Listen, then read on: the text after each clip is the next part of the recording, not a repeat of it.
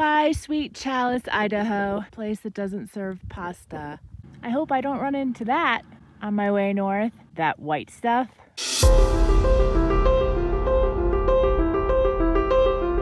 Just coming through the Challis, Idaho Valley, heading up towards Darby, Montana. This is a section that's 154 miles of nothing into the Bitterroot mountain range. And as you can see, the dirt road in the distance, climbing up. It looks absolutely miserable. There's no trees. Ah. And just when I was thinking, you know, probably should have chugged a bunch of water at the creek before I started cl climbing. I can see where the creek runs out, but the creek has run dry. I'm literally just thinking that. And all of a sudden I hear a Jeep. They pull over and they said, would you like a bottle of water? It's ice cold from our cooler. And I said, absolutely, I would love that.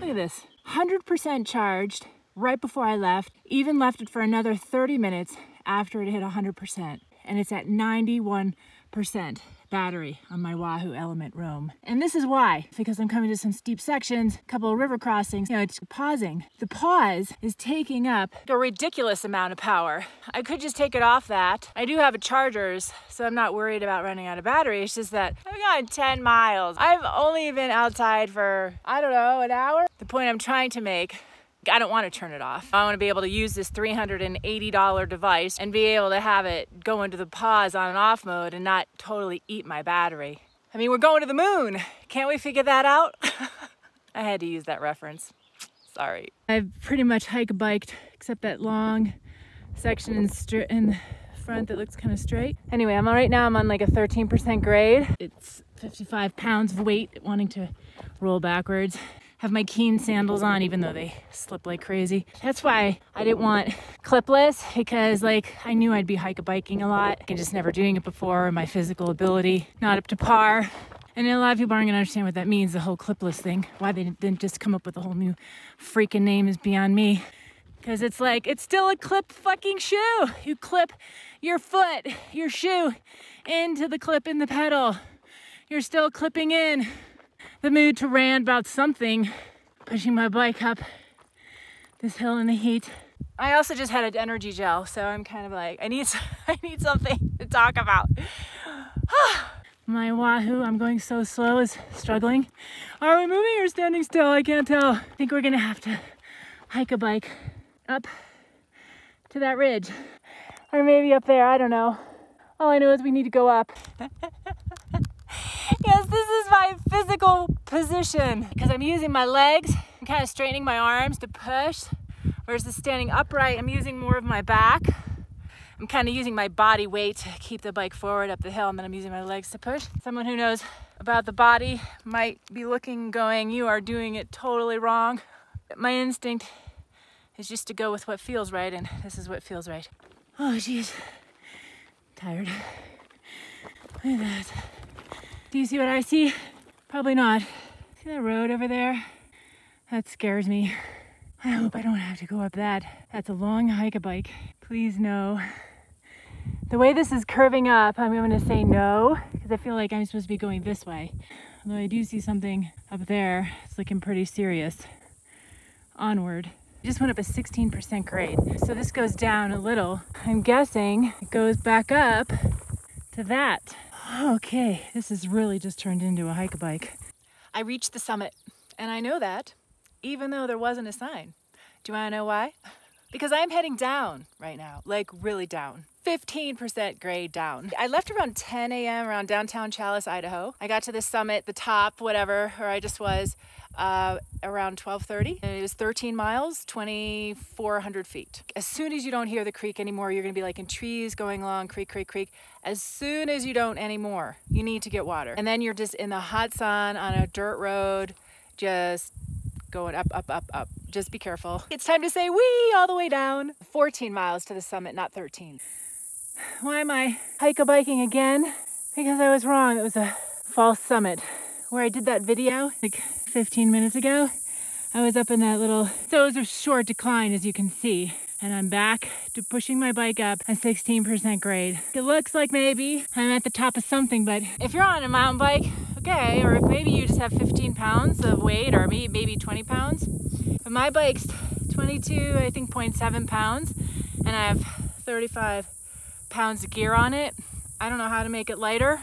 I even gave up my little uh, fuel container. I can't get rid of my solar panel. I'm carrying only just two liters of water, 154 miles of nothing. So I have up to seven days of food. Get rid of a tent and use a hammock. What if it started like pouring rain for three days and you're stuck in rain? I, am not, I don't want to be in a hammock. I mean, it's beautiful out here. It's just that I'm feeling like as soon as I hit dirt, I was doing hike a bike. And if you're out where there's no water, this is the Wild West route. Is considered a difficult trail. These are chosen by people as a bike packing route. And so maybe I'm confused somewhere and hike a bike is just part of bike packing because I feel like it's 50%. I'm actually happy. I'm, it's beautiful out. I'm just wondering if, if this is really what it's just going to continue to be. You roll down a hill, flans out a little bit, then you push your bike up a few miles. I'll let you know how it goes. 15.7 miles, let's just say since the Village Inn restaurant in downtown Challis, Idaho. I've climbed 2,845 feet. I think I'm at 6,800 feet and it's 96 degrees. It's 120 and I think I left around 10 a.m. Now I think it looks like I'm gonna go down, down, down, but I said that last time and I did go down, down, down, and then I had to go straight up again. So this is all I have to go by going down for 10 minutes. It's very rocky and slippery, but do you see this road now? It's smoother, but do you see this road, how it's going down? We're gonna continue to go down. Do you remember earlier I showed that scary climb, wondering if I was gonna have to do that? And I think I am. And all I know is that is gonna fuck me up. I'll have to reevaluate when I hit the bottom. I've only gone 17 miles and I have 154 until I hit Darby. Anyway, it sure is pretty out here. So still. I haven't seen one animal. Not even a squirrel. There's that road that went straight up. There's another road that goes up. Guess what? I don't have to take either one of those. I'm so happy. I just came on a huge downhill. My hands are killing me because I have mechanical. Disc brakes are mechanical, not hydraulic. So you have to use more pressure. But anyway, I think I'm gonna go back to this stream I just saw. I'm at like almost 20 miles. I'd like to get another 30 miles out of the way. Anyway, yay! No more climbing. Have some snacks and to refill my water. See how you can see rich green? That's know where the water's running. This looks like some kind of an animal trail. There's a skull of something. Beautiful, beautiful river. Boy, would I love to just jump in there, but I need to keep biking. Oh, look, I have a grassy patch. How beautiful. Maybe I'll sit under this kind of semi bush tree. Boy, it's hot. 98 degrees. I have a hammer, electrolyte. Like if you're sweating a lot, that's what the white thing is. And then this is a Nuun, It's just for hydration, replenishing you. So I'll add that. I'll chug a bottle with this in it and then I'll just refill it with regular water. These Quest bars I got just at a regular supermarket. I wish these companies would make like the chocolate cookie but without the chocolate chip because they always melt. They taste good. They don't weigh that much. 240 calories, 15 grams of fat, which is great, 21 grams of carb, and 15 grams of protein. And this is just great in the afternoon for a snack, biking, hiking, whatever. I recommend them. Coming up this road and I saw this know what that is. Maybe somebody can tell by looking at it, but I can't. My first dead fir. So why am I barely making any progress on this paved semi-flat road? Because I've had a headwind for 10 miles. Oh my gosh. I've literally been in the hunched position between pushing my bike up hills and now bent over. I can't get a break today. They're shading each other and this one's tail is flipping flies off the faces. Two facing me are smack, smack. They have a system and it works. It's 5.15, I've gone 32 miles, 4,600 feet of climbing. And this is still climbing and it's like away from the water. The topography map, it's showing the lines. It's not, showing the actual elevation. It's downloaded, so I don't know. I'd like to go for like another hour, but you know, this is the trade-off. If I keep climbing, first of all, it's gonna be colder tonight. There's a chance I'm gonna totally leave the stream, not necessarily leave it, but it could be down a cliff. And there's like a spot right over here there's a little bit of water, a little bit of spot to put the tent. Yeah, I think I should just play it safe. I'll spend the extra time that I have trying to see if I can make a fire. that says Morgan Summit.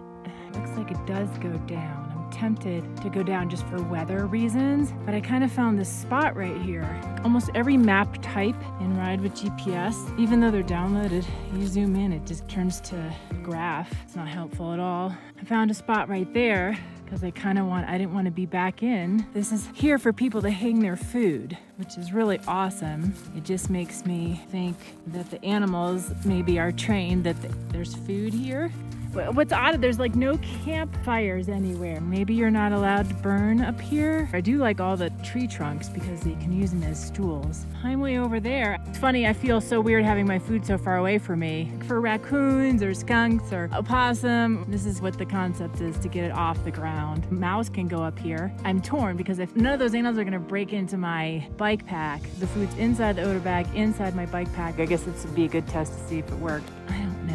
This can't be for bears. A bear gets on his hind legs, he can totally reach your food. I keep obsessing over bears because it's my one fear. I'm not really afraid of people. I was more afraid of grizzlies. Uh, you know what it's bringing me back to? King Kong. Here is your offering. I feel like I'm offering food. Hello, I'm gonna hang it up here so y'all can see it and maybe smell it in the air.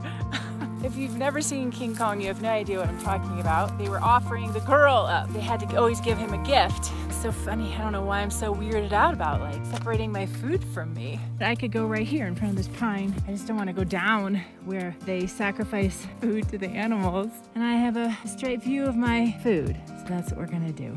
I will not be cooking tonight because that whole food thing freaks me out.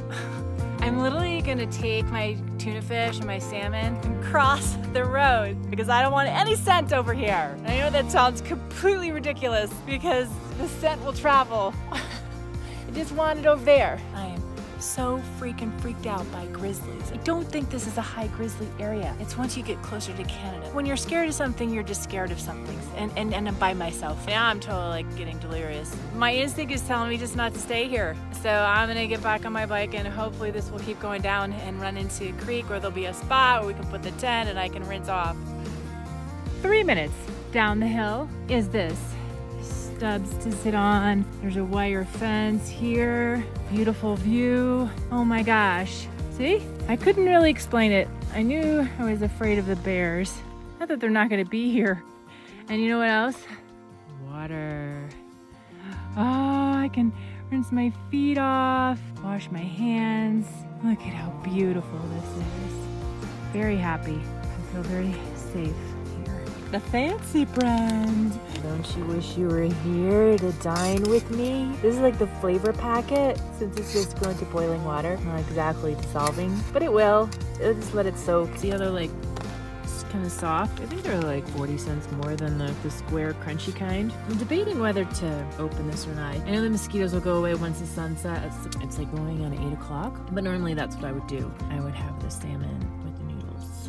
Just got back from the little creek. Washed my clothes, left them down there on a log. There are a zillion mosquitoes. Do you see them all? This is how many mosquitoes are outside my tent right now in this one little spot. After about 15 minutes, it's almost dissolved, but see how nice it is?